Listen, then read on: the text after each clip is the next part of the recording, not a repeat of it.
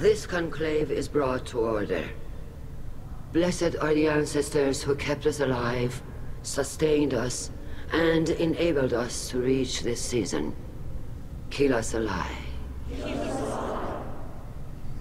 The accused Tali'Zorah Vas Normandy has come with her captain to defend herself against a charge of treason. Security!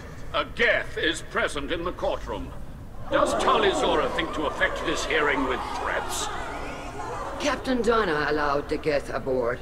Do you intend to second-guess the Rayya's captain, Admiral Koris? Objection withdrawn. Shepard Vas Normandy, your crew member Tali'Zorah stands accused of treason. Will you speak for her?